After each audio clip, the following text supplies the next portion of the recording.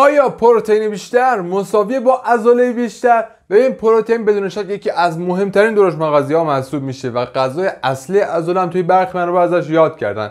خیلی مهمه برای بحث حفظ توده عضلانی و عضله سازی. توی هر یک گرمش هم تقریبا 4 کالری انرژی داره. اما مسئله که هست هر چقدر بیشتر پروتئین مصرف کنیم عضله بیشتری می‌سازیم منطقیه.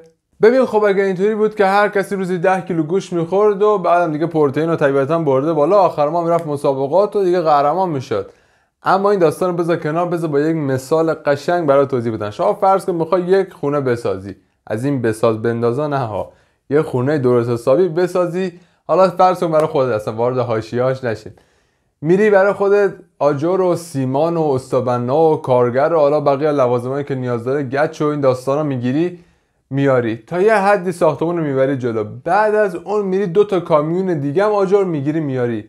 ولی دیگه به اندازه کافی سیمان و گچ و اصلا استابنا و کارگر ول کردن رفتن و نیستن دیگه. اون دو تا دستت باد کرده. پس طبیعتا پیشرفتی توی اون ساختمون سازی برای تو به وجود نمیاد. حالا داستان خوردن پروتئین اضافی هم همینه. بیش از حد اون دیگه برای عضله سازی تو احتمالا کاربردی نداشته باشه. پیشنهاد شده بین یک و 6 دهم گرم. تا دو دو دهم گرم به ازای هر کیلوگرم از وزن بدن می‌تونیم که در طی روز پروتئین مصرف کنیم.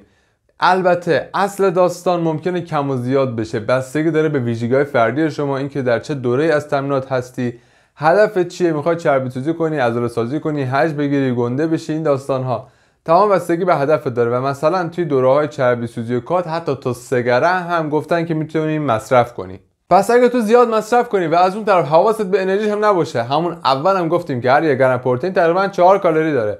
حواست به این مجموع کالری ها نباشه ممکنه که وارد مازاد کالری هم بشی. حالا به سمت افزایش چربی هم ممکنه که پیش بری. پس خیلی حواست به این کنترل و تعادل کالری باید باشه. اگرم که مستعدش باشی با مصرف زیاد ممکنه که به دستگاه گوارشی و یا حتی کلیه هم آسیب برسونی. پس پیشنهاد میشه که توی همون range نرمالت متناسب با شرایط خودت نیاز بدنت و هدفی که داری مصرف کنید تا هم به بهترین نتیجه ممکن برسی رشد خوبی داشته باشی و هم در هزینه هات صرف جویی بشه. مرسی که همراه من بودی. با like و کامنتات از این ویدیو می‌تونی حمایت کنی و حتما کانال ما رو subscribe کن و اون زنگوله رو روشن کن که به ویدیوها در زمینه تناسب اندام ساده و روون و کاربردی رو بهت میگم. تموم شده رفت. دوستتون دارم. چاکریم.